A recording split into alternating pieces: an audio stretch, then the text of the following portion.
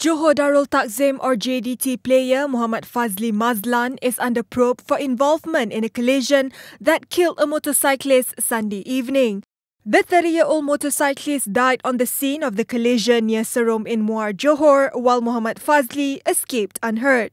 Tangkak OCPD Superintendent Mohad Idris Samsuri said the incident occurred when the motorcyclist made a sudden exit at the junction and was hit by the JDT player who was driving an Audi S5.